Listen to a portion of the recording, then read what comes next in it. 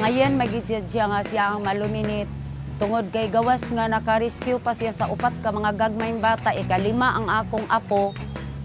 Ika duha pod ka dalaga nga 25 anyos pa ang edad nga nakarga gyapon niya sa bata nga iyang gi sakyan sa dito na sa laod sa Kamigin.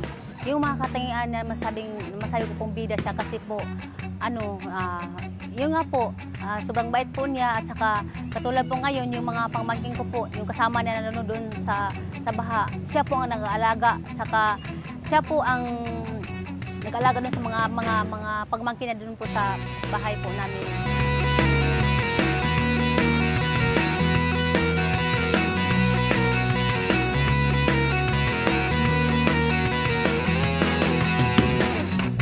Proud kay ko sa akong kaugalingon. Nga ako ang naimong inahan ni Lini. Nga nakaluwas pa siya sa mga kinabuhi gawas sa kalisdanan nga iyang naagian. Ah, proud na proud na po ako na magiging na, na nagiging ate niya po kasi po ano matulungin siya at saka ah, marunong sa mag-isip anong anong mga bagay na dapat niyang gawin para sa mga kapatid niya.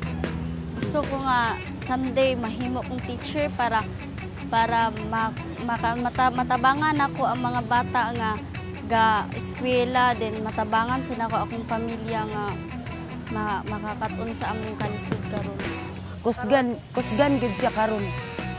Kusog gid siya tungod sa, sa pagsalig sa niya sa Ginoo.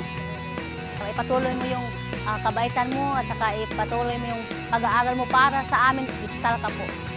Nagyapon ko'y matabangan diri nga na nanguan gyapon sa kuwa og tabang then para sa makatabang pud ko sa ilaha kung unsa ang ilang kuan sa kuwa.